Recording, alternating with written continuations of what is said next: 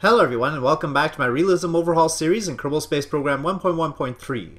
In this episode we are going to start off with a Moonport resupply mission and hopefully that'll just go normally and then we can move on to our main missions already underway. The Ganymede lander and the two Titan shots are what I'm aiming for. If we didn't resupply we'd be able to get through the Ganymede lander but uh, we would have to resupply before doing the Titan shot bits and those are uh, Saturn SOI entries. I think that one is too. I think that might be a dummy maneuver node. But definitely this one is entering Saturn SOI. So we want to be all nice and ready for that. Uh, this I think is just a maneuver node, but it might be a dummy maneuver. We'll see. So anyway, that is the situation. And well, let's go. Throttle up. SAS is on. We're basically lined up with the moon. And let's get some distance because it's loud. Ignition!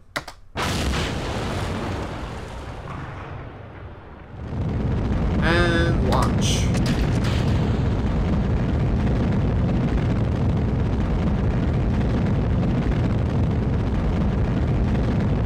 Okay, and we're off. So lately I haven't uh, been making too many Realism Overhaul videos. It's been a while since I entered this save. And that's because I'm just getting over summer and trying to get back into the swing of things. As I'm sure many viewers are doing as well. Okay, booster set. And everything went well with the boosters. Alright, here we go. Time for MECO. And separation. Separation. And ignition. And the J2 is lit. The first stage did its thing. And fairing separation. Okay. Okay, we are about to make orbit. We should probably pitch up a little bit. I don't mind it being a little lopsided because we're a little bit high on this end anyway.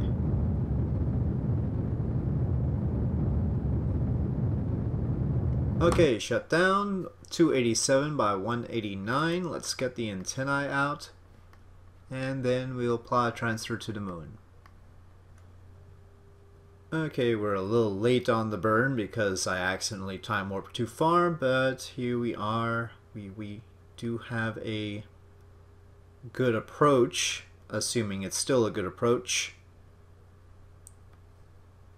And ignition.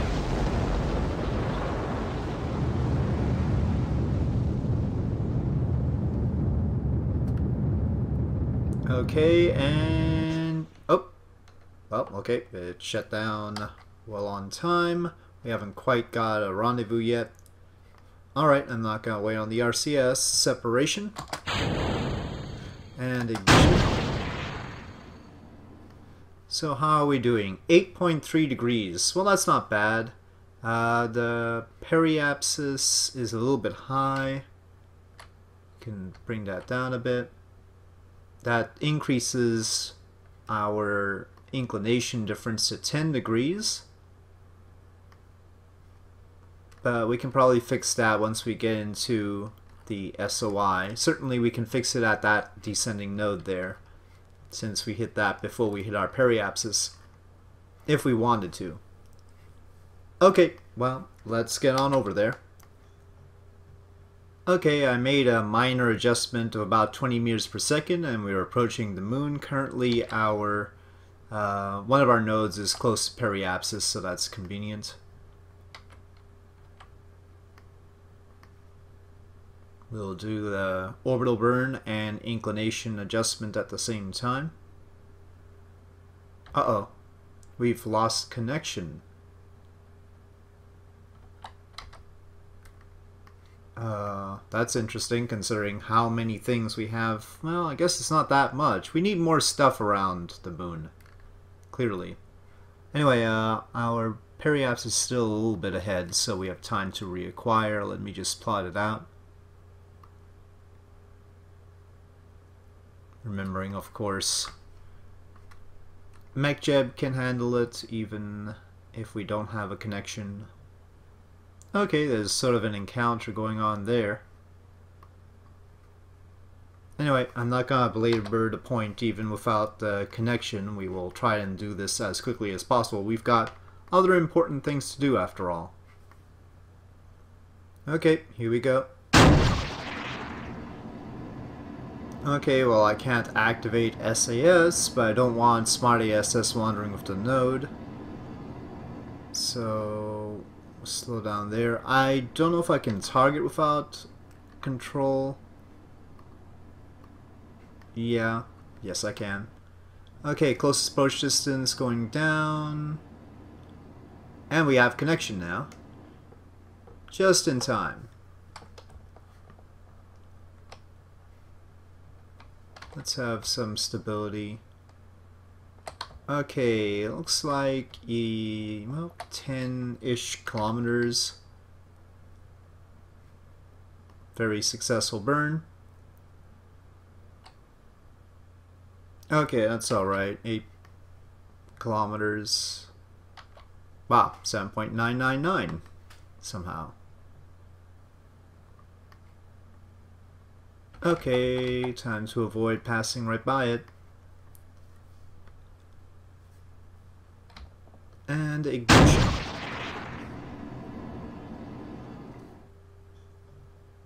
Okay, here we are, and we are lining up with the docking port. I decided to go with docking it on one of the Apollo docking system ports because we were sort of aimed at it anyway, so it was the easiest. And I want to get this done quickly. My mouse right click button seems to be sort of losing it. Um, you can see I'm, I'm trying to, uh, the cursor changes when I right click so you can sort of see anyway it's a little bit sticky is all I'm saying. So yeah I might need a new mouse. Okay I think we have connection there. Very good. RCS off. We don't want the whole station rotating or anything. And we've made our delivery. So TAC Life Support says 223 days worth of food. So we're all good there Spaceport 2, uh, 142 days. We've got the craft built for that. We've got the resupply vessel already built. Let me just check on our timing here. Uh, yeah, it gives us, uh, doing both Titan shots gives us 20 days. We'll have to watch out for, I mean, we're just entering the SOI of Saturn. So probably by the time we get to Saturn Periapsis, it'll be much more than 20 days. So we'll have to make a new maneuver to see about that, or reach Titan, since these looked like they were aimed for Titan. Anyway, let's take care of this Ganymede lander mission, and we'll see how that goes. Okay, well I really didn't want the thrusters firing, but hopefully that didn't change much. But here is our Ganymede lander mission, and we should probably start time warping so it doesn't do more to adjust its current position as it seems to want to fire the thrusters and the signal delay is such that it would take 35 30 30 odd minutes uh, for me to command the RCS to turn off and the SAS to turn off. Well I guess I could have just uh, activated smart ASS which would also turn off SAS anyway we're going to enter Jupiter SOI in 18 days and then we are going to encounter the maneuver node in a little bit longer than that. We don't have to worry about orientation or power because, oh wait, Spaceport 2 should not be running out of, what, what's Spaceport 2 again? Wait a minute. No, that's the Earth orbit, 136 days. I guess that's 10% of its capacity or something. Okay, but it's not really running out of food. It's just less than it ought to be. We should probably queue something else up, but I'd actually like to wait until we get some more technology unlocked. if we take a look, come on, Kerbal Construction time. Um, I want this science tech so that we can get the scanners from that and then use those, you know, build our probes to deploy those. So that's why I'm not building anything else right now. And that those kinds of probes will probably be the ones that will go out on the Voyager transfer window. So we can scan all the moons of Jupiter and Saturn and such. Okay, here we go in the SOI. And we are making an adjustment to better match the orbit of Ganymede. And burn.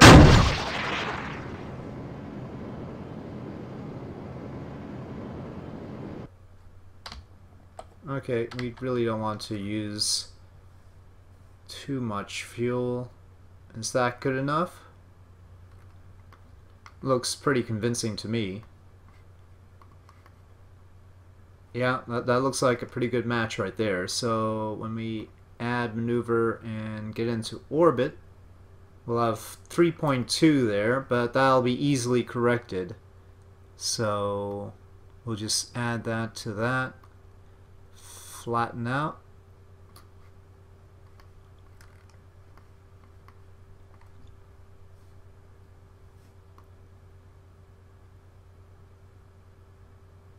Wait, there we go.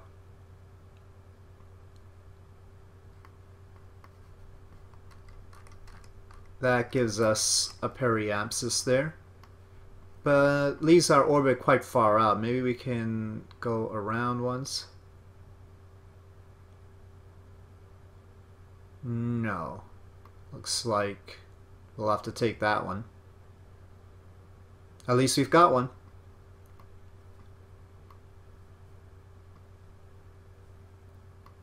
But that'll leave us with a lot of burning to do once we arrive. Maybe we should just plot it all out. That's in 65 days. That'll still be the next thing that we do. We won't be turning to the Titan shots just yet. Maybe we'll get this done. Oop.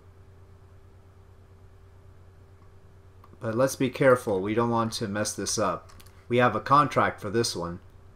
And it was pretty lucrative with a really bad penalty, so we have to make sure we have to land on Ganymede and send a telemetry analysis. We especially don't want to be caught without communication, for instance.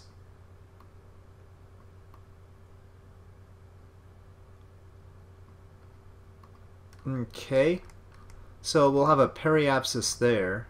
I don't know if that's the best place to have a periapsis, but then we'll need to do a burn to make orbit of how much? 959, well it's not bad, it's not bad. So let's just get this first burn ready, and then that one is in 77 days, yeah. So we'll be doing that, well this Titan shot's in 74 days, geez. Okay, well we have to prioritize things and be careful about our timing then. Okay, so there's that. But now that we're completing science tech, let me get a probe being built with that science tech. So let me go back to Space Center and time warp that 26 days and design that. Okay, well, after an extremely long and arduous design process, I've got MapSat 1 and MapSat 2. I'm not going to go over them right now. I'll uh, do that in flight when they launch. But basically, they're just uh, one of the survey scanners on top of a uh, very big rocket meant to be sent to Jupiter or Saturn. Uh, MapSat 1 has substantially less delta V and is on a smaller rocket, hence its you know shorter build time. MapSat 2 is on a much larger rocket, so it's more likely to be successful uh, at getting to its destination. MapSat 1 is pretty tight on the delta V's, that's all I'll have to say about that. But yeah, the only instrument on them is a survey scanner, and those are 0.2 tons apiece. So they're pretty heavy if you add in the antennae, the um, RTGs, and everything. Okay, so without further ado, let's turn back to the Ganymede lander, now approaching Ganymede's orbit, and then we can handle its capture around Jupiter. Okay, so we've done some time warping, and we are now about four hours away from the node. I'm gonna get rid of the alarm. so it doesn't bug us. Alarm clock, go away now. Okay. Trying to find where Jupiter is. There it is. Okay, good. So we're all set, it looks like.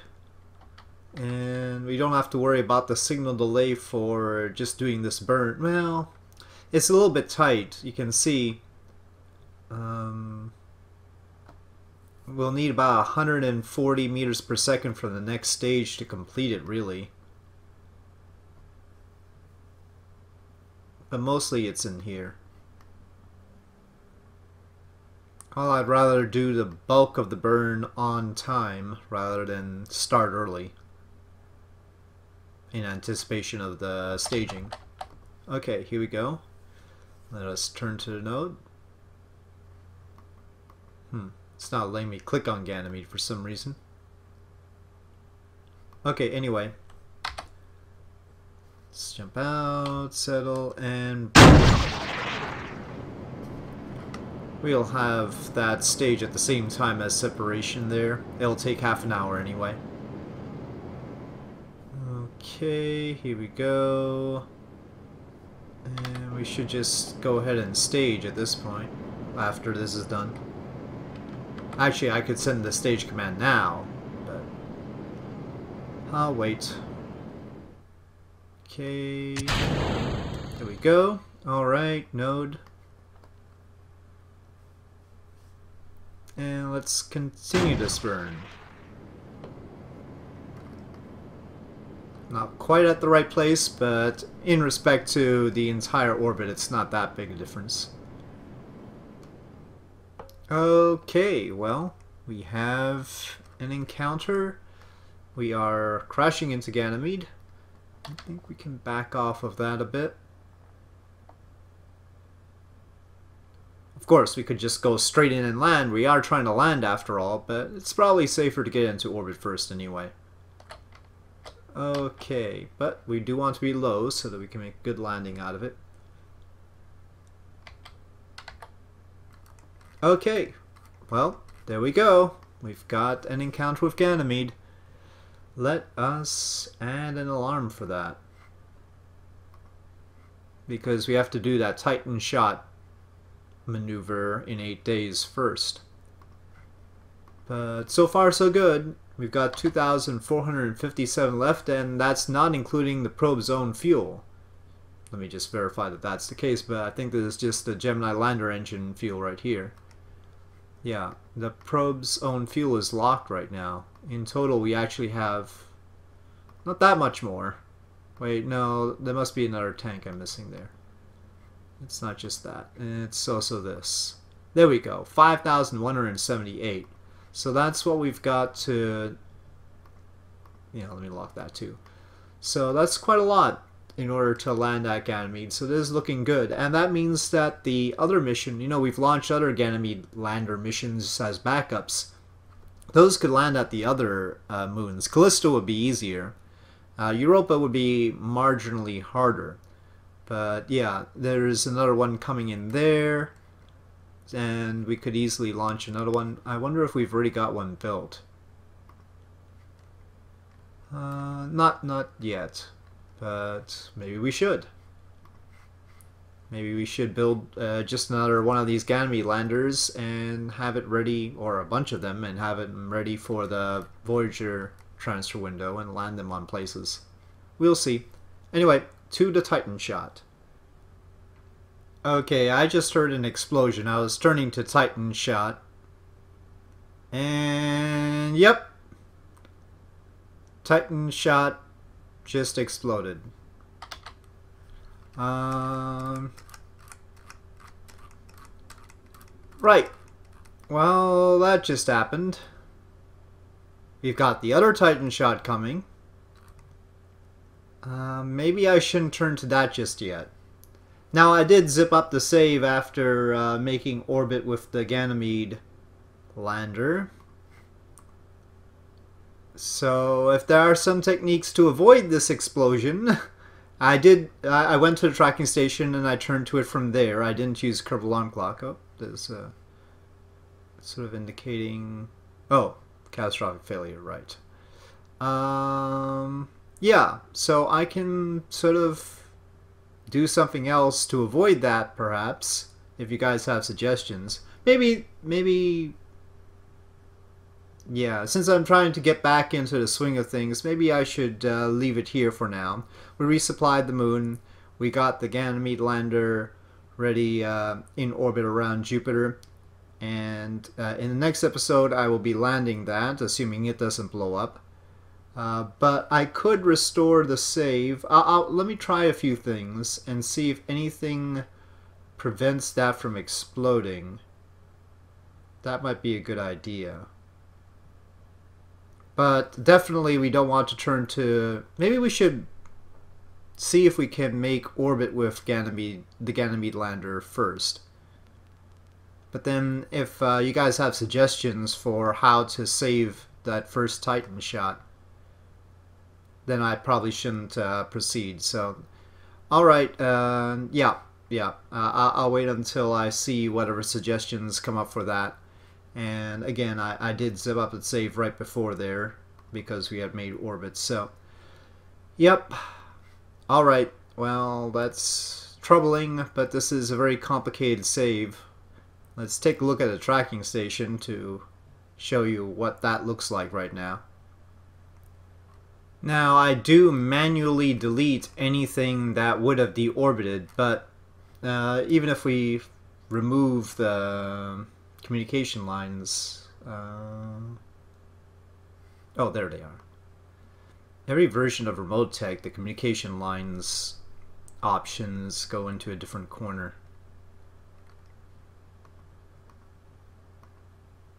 It's... okay, there we go. Okay, so this is just the, the probes. We have 101 of those. You can see what we've got going here. And again, manually I go through and see what would have deorbited. But uh, if it's in solar orbit, it wouldn't have. So it's sort of stuck there. I could get rid of it. I mean, that's 21 years that's like at the beginning of our space program, Lance was launched. But then again, it's sort of a historical artifact. Look at all these. Look at all these. It's quite a quite a record. Of course, if we keep them like this, there's an increased chance that everything is going to explode or otherwise end up in the wrong orbits. So that's the trouble. Some of them are just spent stages, like this this probe thingy. Maybe I'll get rid of those. They're not the main mission anyway. This one's orbiting the Earth. But it's in a very high orbit, as you can see. Anyway, I'll have to think about that. And that's not debris. Those are all stuff with probe cores on. There's also debris, but there's less debris than the actual probes right now. I, I'm always of two minds about clearing all this stuff up because first of all th this stuff isn't going to deorbit anyway uh, I've checked them they're basically gonna stick around for a little while longer. Some of them hundreds of years, some of them probably thousands of years. Yeah. In a way, it's incentive for me to make sure I deorbit stages, but maybe we're a little bit too far gone for that. Okay, anyway, on that note, I'll say thank you for watching. I hope you enjoyed this video. If you did enjoy this video, please do press like. If you have any comments or suggestions, please leave them in the comment section below and I'll see you next time.